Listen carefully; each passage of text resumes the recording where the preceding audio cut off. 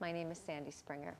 I've been a teacher since 1993. I have a bachelor's degree in elementary education. I have a master's degree in English as a second language. I've taught in public and private schools. I've taught first grade, fourth grade, fifth grade, pretty much everything through adults. Today I'm going to talk to you about how to discuss a book. Well, the first step in discussing a book is you'd have to read the book. Choose the book, read it, make sure that you understand what it's about, make sure you know who the characters are, and be prepared for when we discuss it. Then get in a circle on the floor or however you want and talk about the book. Who are the main characters?